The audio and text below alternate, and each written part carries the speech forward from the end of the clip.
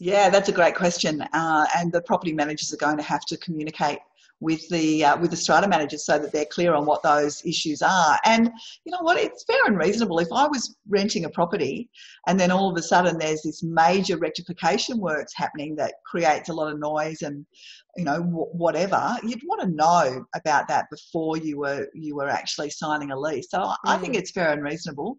And it's obviously up to the the property managers to make sure that they have good communication conversation with the strata managers in the buildings that they are um, have got properties.